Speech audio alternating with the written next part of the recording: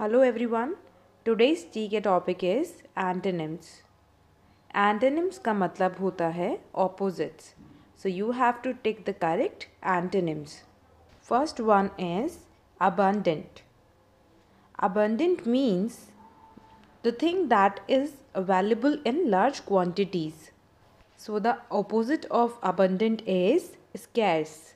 Scarce means insufficient. Second is approve. Approves means to accept or to agree. So the opposite will be disapprove. Third is captive. Captive means a person who has been confined or caged. So the opposite will be free. Fourth is exterior. Exterior means something relating to the outside of something. So the opposite will be interior. Fifth is harsh. Harsh means unpleasantly rough. So the opposite will be mild. Sixth is lawful. Lawful means something that is permitted, that you can do.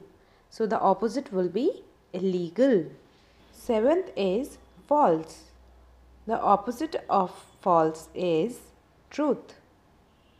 Eighth is peak. Peak means the pointed top of a mountain. So the opposite will be bottom. Ninth is mobile. Mobile means something that can be moved. So the opposite of mobile is immovable. Tenth is giggle. Giggle means to laugh lightly. So the opposite of giggle is frown. Eleventh is brave. Brave means fearless. So the opposite will be coward.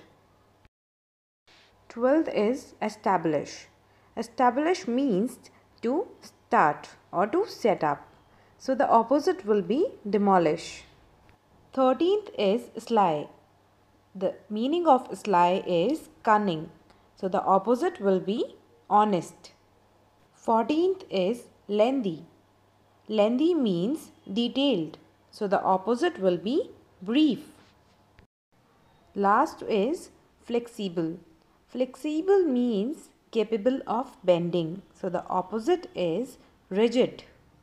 Hope you have understood the video. Thank you and have a nice day.